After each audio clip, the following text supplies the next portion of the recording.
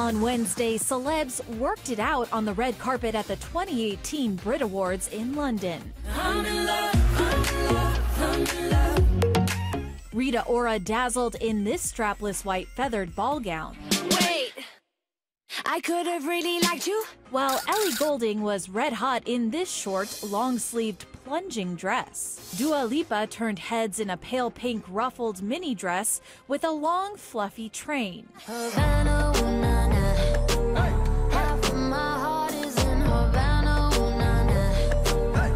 Camila Cabello donned this stunning powder blue gown. Hailey Baldwin slayed in a black and blue floor length number. And Emma Bunton kept it sexy in this black leather trench coat. Darling,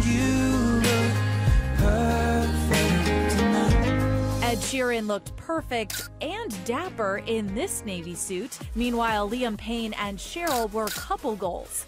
Liam in a gray suit jacket and Cheryl in a little black dress with black heels.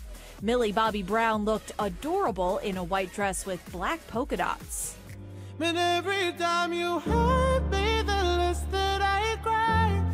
And Sam Smith kept it fresh in this teal jacket with a burnt orange button down.